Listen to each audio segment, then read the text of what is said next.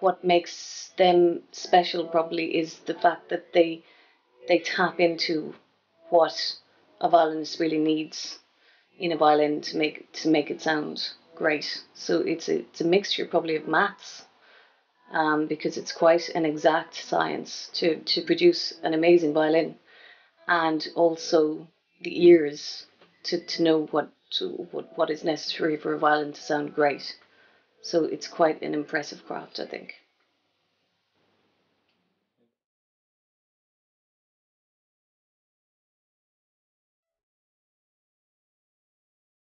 You know, every, instrument needs a service every few years, and uh, my instrument I played it for 10 years, and I was touring non-stop, so it wasn't really in a good shape. And uh, that's how I first met Martin. He didn't even look at me. He took the violin and he I was 12. We broke a violin with a friend of mine, and you know, we had to fix it. So I went to the local violin maker in Slovakia, and I was amazed. All the instruments, wood, varnish, tools, chisels, and I just knew. A lot of very talented makers out there today, um, often competing with old instruments as well.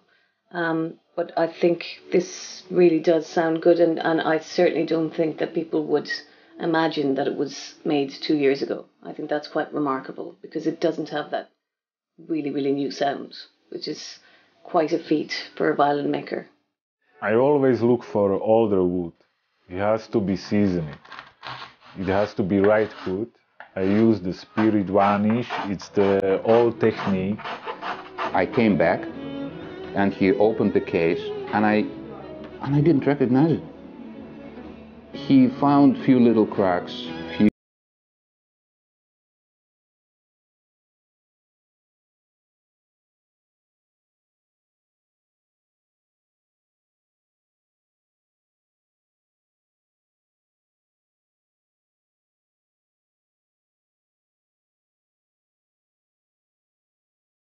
It sounded like completely fresh and strong instrument.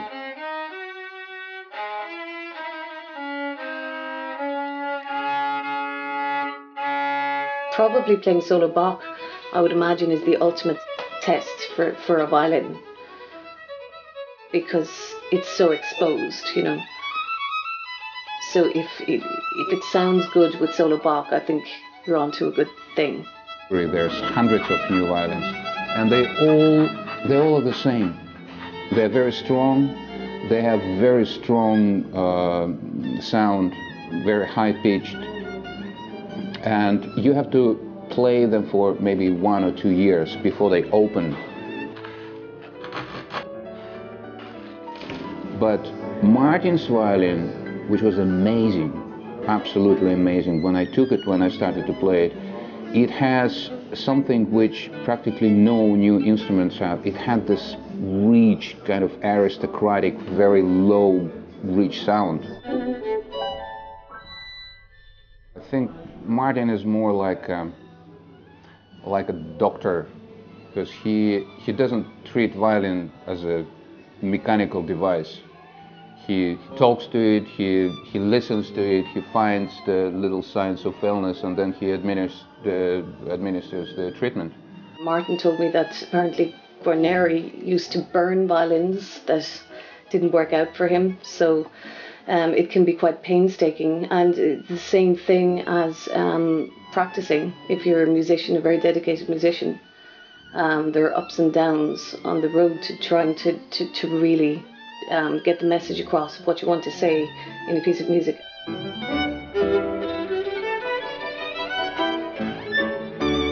His attention to detail is incredible.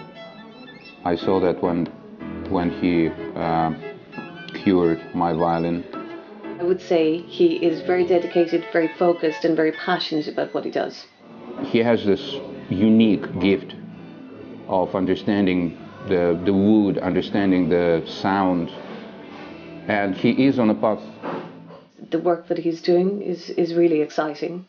And I wish that he stays on this path because he, he brings a lot of joy in this world. Back home in Slovakia, we have very nice word for this. Dusha, the soul. That's what I'm trying to give to the violin. Um, and I hope that lots lots of violinists get the chance to play on his violins.